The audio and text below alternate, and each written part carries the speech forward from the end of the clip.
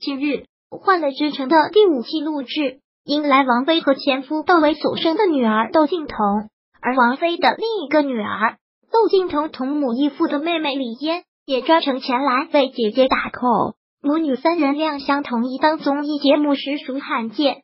众所周知，窦靖童的生父是内地摇滚界的传奇巨星，母亲王菲更是华语乐坛天后。而窦靖童也是完全继承了父母的音乐天分和基因，是当下乐坛相当具有才气的年轻歌手。而除了卓越的音乐天分，窦靖童的日常行为风格也酷似妈妈王菲。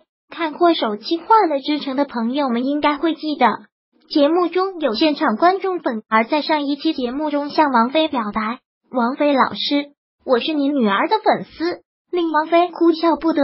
而当时何炅也搭话说。尽力将窦靖童请到，原来大家还以为只是随意的玩笑，谁知道最终节目果然请来了窦靖童。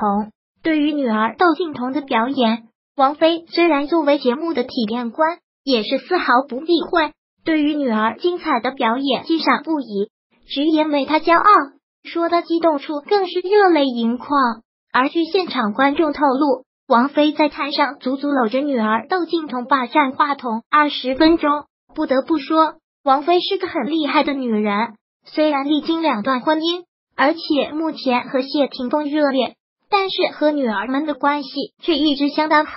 而窦靖童和妹妹李嫣更是相当亲密。